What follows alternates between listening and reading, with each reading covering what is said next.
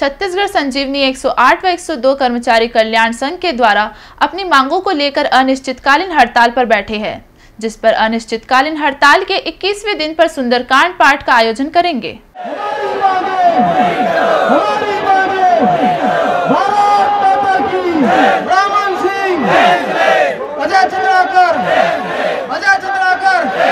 रोजी रोटी दे न सके। रोजी रोटी दे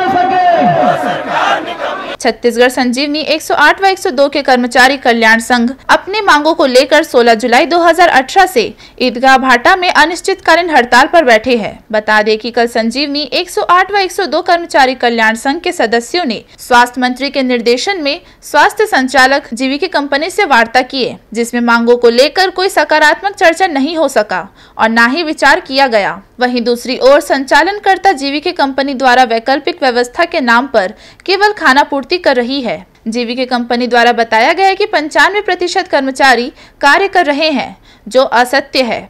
आज संघ द्वारा धरना स्थल पर सुंदरकांड पाठ का आयोजन कर रहे हैं।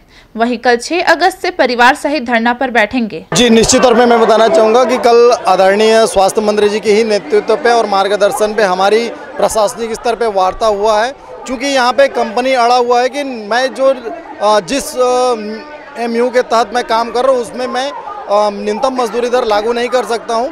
इस वजह से वो आगे नहीं बढ़ा पा रहे सरकार से भी हम लोगों ने यही उम्मीदें रखे थे कि, कि हमारी न्यूनतम मजदूरी दर है उसको सरकार अपने अधीनस्थ करके उसको लागू करे जिससे अन्य राज्यों पे जैसे अगर देखा जाए तो हरियाणा के तर्ज पे भी अगर एन में भी रखा जाता है तो सरकार को जो मोटी रकम कंपनी को दिया जाता है उससे कम रकम में भी हमको संचालन कर सकते हैं। सरकार आज वर्तमान वेतन, ग्यारह हज़ार वेतन में भी अगर सरकार अपने अधीनस्थ करती है, सारे मांगों को हम एक दरकिनार कर देंगे, लेकिन सरकार अपने अधीन चलाएँ।